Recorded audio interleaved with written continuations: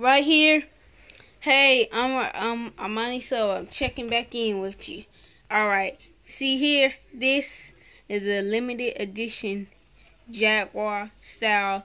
It's the 33rd second amber eyes, light shining on them, Paul. It has everything. It has that, uh, even the light um, fingerprint you want to be really careful. Name tag, if you want to look, you can't see it on here, but if you could, you could see where it came from. It's really old in this family valued piece. And see, he moves kind of.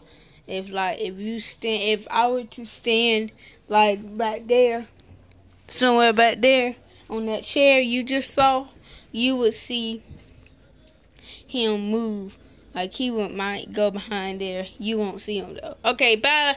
Checking back out.